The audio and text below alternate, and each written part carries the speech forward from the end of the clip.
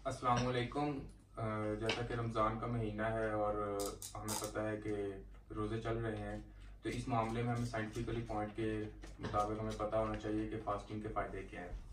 सबसे पहले आ, मैं बात करूँगा कि ओबेसिटी को ये कम करता है। हम जो भी खुराक लेते हैं वो ग्लूकोज की फॉर्म में लें तो वो ग्लाइकोजिन की फॉर्म में स्टोर हो जाती है। मतलब कि जब हम कोई खुराक लेते हैं तो वो तीन से चार घंटे ग्लाइकोजिन की फॉर्म में यूज़ होती रहती है। और जब ये ग्लाइकोजन की फॉर्म में यूज़ हो जाती है, उसके बाद हमारे जिसम के जो लिपर्स होते हैं, वो इस्तेमाल होना शुरू हो जाते हैं। और हमारे जिसम के लिए सबसे खतरनाक जो लिपर्स होते हैं, वो लो डेंसिटी लिपर्स होते हैं। और जैसे ही ये यूज़ होते हैं तो हमारे जिसम के लिपर्स कम होते जाते हैं, इससे ओबेसिटी कम हो जाती है।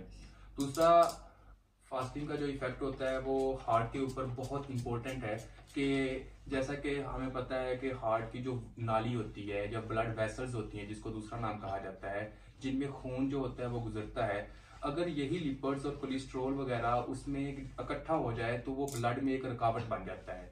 अगर ब्लड में रुकावट बन जाए तो वही जो खून होगा, वो हार्ट की तरफ़ नहीं जाएगा। जिसकी वजह से हार्ट अटैक होने के चांसेस ज़्यादा से ज़्यादा होते हैं।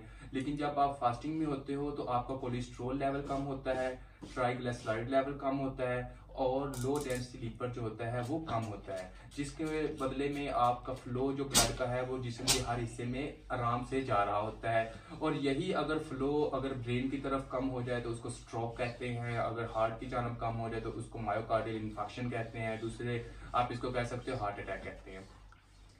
तीसरी बात यह है कि हमारा जो मैदा है, वो तकरीबन 365 डेज़ पूरा साल काम कर रहा होता है और ये एक, ये वाहद मंथ होता है जिसमें ये रेस्ट पोजीशन में होता है हमारा मैदा या बहुत ही कम काम करता है। तो इसमें ये होता है कि आपका जो टॉक्सिक सब्सटेंस जो होते हैं ना हमारे जिसम के, ये रिलीज़ हो रहे होते हैं। और फास्टिंग का ये फ़ायदा है कि जो टॉक्सिक सब्सटेंस जब रिलीज़ होंगे तो हमारे जिसम को डिटॉक्सीफाई करता है, इसी तरह।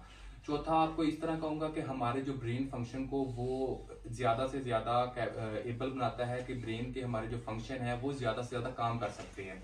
ये इस तरह होता है कि जो हमारे नर्व की सेल्स की सिंथेसिस जो होती है, वो ज़्यादा से ज़्यादा करता है और न्यूरो डिजनरेटिव डिज़ीज़ होती है। न्यूरो डिजनरेटिव डिज़ीज़ जिसमें आ जाता है एपिलिप्सी यानी कि मिर्गी आ गया पार्किंसन डिज़ीज़ आ गया आजिमर डिज़ीज़ होगी, ये डिज़ीज़ को ये कम करती है और हमारे ये असल में ब्रेन ड्राइव्ड ग्रोथ फैक्टर्स होते हैं। ब्रेन ड्राइव्ड ग्रोथ फैक्टर्स क्या होते हैं? ये वो फैक्टर्स होते हैं जो कि नर्व सेल्स की सिंथेसिस को ज़्यादा करते हैं। जब नर्व सेल्स की सिंथेसिस ज़्यादा होगी तो हमारा जो ब्रेन होगा वो ज़्यादा से ज़्यादा काम करेगा। इसके अलावा ये होता है कि ये ब्लड प्रेशर को कम करता है।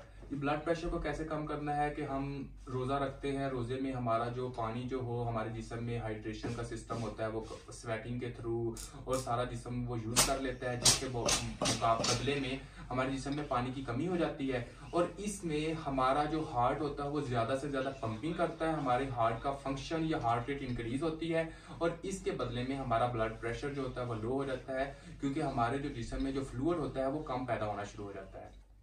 इसके अलावा इंसान में सेल्फ कंट्रोल ज़्यादा से ज़्यादा आता है साइकोलॉजिकली पॉइंट ऑफ़ व्यू से। क्योंकि जब आप रोजा रखते हो कि आपको पता होता है कि हाँ यार, मैंने इस टाइम से लेकर तकरीबन 14 से 15 घंटे या किसी जो कंट्रीज़ में होता है 16 से 17 घंटे तक भी रोजा जाता है, तब तक मैंने अपने आप को कंट्रोल करना है। तो ये सेल्फ कंट्रोल को ज़्यादा से ज़्यादा करता है। इसके अलावा जो डायबिटीज़ के पेशेंट होते हैं, हमें पता है कि उनके लिए इंसुलिन एक बहुत इंपॉर्टेंट चीज़ है। जब आप रोजा रखते हो तो इंसुलिन की जो रेजिस्टेंस होती है वो कम हो जाती है और इसकी सेंसिटिविटी ज़्यादा हो जाती है। जब इंसुलिन ज़्यादा पैदा होगा पेंक्रियाज से तो इससे जो ब्लड के अंदर ग्लूकोज होगा, वो सेल के अंदर जाना शुरू हो जाएगा। क्योंकि ग्लूकोज जो होता है वह सेल के अंदर उसी सूरत में जाता है जब इंसुलिन ज़्यादा पैदा हो।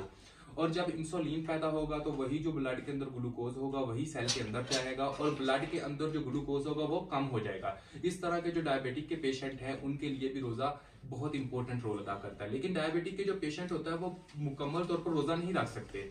उसकी रीजन ये है कि अगर वो पूरे दिन के लिए रोजा रख जाए तो उनको हाइपोग्लाइसीमिक शॉक हो सकता है। इसी वजह से उनको कहा जाता है कि बेहतर तरीका ये है कि आप पाँच से छह घंटे का रोजा, यानी कि फास्टिंग कीजिए। आप उसको रोजा तो नहीं कह सकते, यानी कि पाँच से छह घंटे अगर आप भूखा रहते हो तो आपकी इंसुलिन की प्रोडक्शन वो ज़्यादा से ज़्यादा होगी, जिसकी वजह से आप ग्लूकोज आपका सेल के अंदर जाएगा।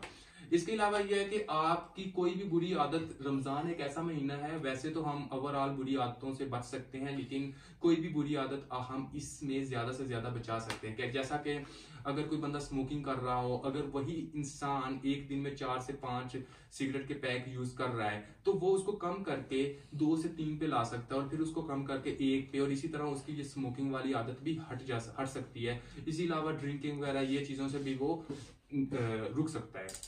ये बुरी आदत जो होती है। इसके अलावा ये होता है कि हमारे जिसम में जो कैंसर सेल्स होते हैं, ये सबसे पहले एक चूहे के ऊपर स्टडी की गई कैंसर सेल के बारे में। अब तो ये आया कि बोला जाता है कि जो रमज़ान है वो कैंसर को भी कम करता है। किसी तरह, किस तरह काम करता है कि जो हमारे जो ट्यूमर्स होते हैं, जैसे जो सेल्स की प्रोडक्शन जब ज़्यादा हो रही होती है तो वो उसको रोक देता है। वो इस तरह रोकता है कि अगर तो सेल में इतनी ज़्यादा पावर आ जाती है कि उसकी ग्रोथ या उसकी मल्टीप्लीकेशन को कम कर देता है, और जब हम कीमोथेरापी यूज़ करते हैं। कीमोथेरापी इस तरह होता है कि एक बंदा कैंसर का पेशेंट है। तो उसके जो कैंसर के सेल्स है ना, वो ज़्यादा सुसेप्टिबल्स हो जाते हैं। यानी कि आप कीमोथेरापी जब करते हो तो वो जो कैंसर के जो सेल्स होते हैं, वो इजीली उनकी डेथ हो सकती है। और कीमोथेरापी ज़्यादा, यानी कि यूजफुल होती है।